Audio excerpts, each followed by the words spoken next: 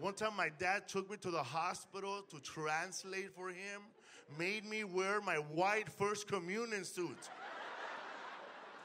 I'm walking around the hospital like fucking John Travolta in Saturday Night Fever.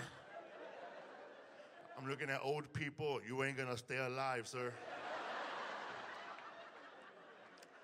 The doctor tells me, Tell your father he has back spasms. Man, I never heard that word in English or Spanish.